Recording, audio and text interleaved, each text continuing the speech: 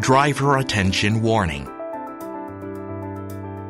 Driver Attention Warning analyzes the driver's attention while driving and warns when necessary.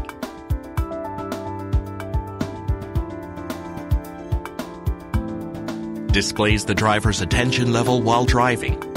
If the driver's attention level drops to bad, the system provides a warning. The driver should stop and park in a safe place and get plenty of rest before driving.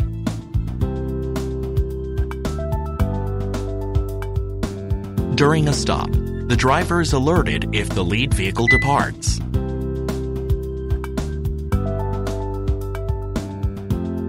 If it is determined that the driver is not looking forward, the system provides a warning.